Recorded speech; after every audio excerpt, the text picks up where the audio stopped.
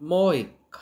Tässä Miika, Pokemon kouluttaja 95. Nyt lähdetään purkamaan ja ennakoimaan Jukurit Sport-pelin kokoonpanoja.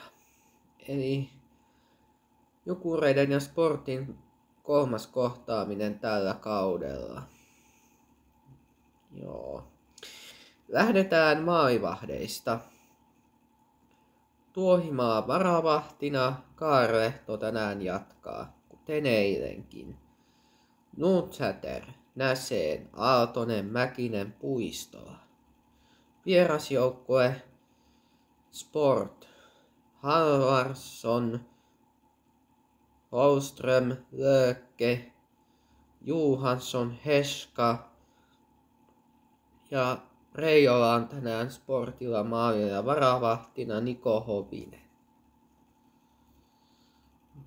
Kotijoukkueen Jukurit kakkonen, Saptranski, Peltomäki, Helenius, sitten meidän uusi brittiläinen,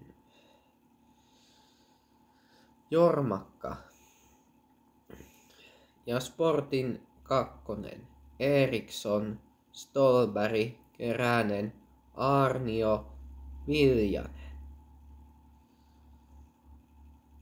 Ja meidän kolmoskenttä Lundgren, Jurmo, Oden, Kovarczyk, Hynninen. Sportin kolmonen, Paukku, Väyrynen, Heikkinen, Hietanen, Tommila. Meidän nelonen, Häkkilä, Häkkilä, Piitulainen, Immonen, Patna. Sportin neloskenttä. Nalli, Riska, Alapia, Apila, Eetu Apila ja Juuso Pulli. Siinä olivat tämän illan kokoonpanot kuten sanoin, niitä on meille. Ja vielä tuomarit. Petri Linkvist, Jarno Heikkinen ja linjatuomarit Hannu Sormunen ja Juho-Pekka Inkinen. Ai ai ai ai, tänään on Heikkisen, Heikkisen päivä. Sitten on Petri Linkvist. Juu jo. No, eiköhän mennyt tällä eiköhän me nyt tällä tuomaristolla pärjätä tää ilta, että, et, et. Mut joo, tässä oli kaikki tältä erää. Jos piditte, painakaa tykkäysnappia. Kommentoikaa, jos jotain kysymyksiä herää.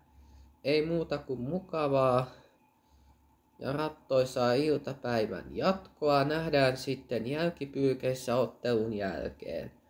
Soisi seuraavan kertaan morjens ja pitäkäähän, pitäkäähän itsenä lämpiminä. Pukeutukaa lämpimästi ja, ja katsokaa pakkasmittarin mukaan. Moi moi! Tilaa mun YouTube-kanavani sekä Superluokat kanava kans. Moi moi!